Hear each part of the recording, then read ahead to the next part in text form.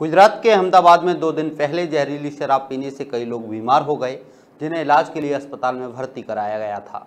जब मरीजों की हालत बिगड़ती गई, जिसके बाद उन्हें अहमदाबाद, बोटाद और भावनगर सरती में स्थानांतरित कर दिया गया और अधूरे इलाज के चलते तेरह से ज़्यादा मरीज़ अस्पताल से फरार हो गए, जिससे हड़कंप मच गया है। वहीं डॉक्टरों ने फरार मरीजों की सूची पुलिस को दे दी है।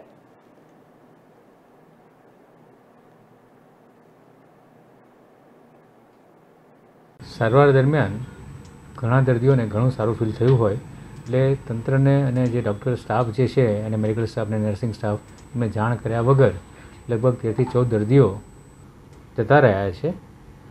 અને એમને પરત લાવવા માટે પોલીસ અધિકારીશ્રીઓને એમને આપણે વિનંતી કરેલી છે અને પોલીસ એ દિશામાં કાર્યરત છે. જેથી એમની સેવા પૂર્ણ જે સારવાર જે કહેવાય એ પૂર્ણ થઈ શકે.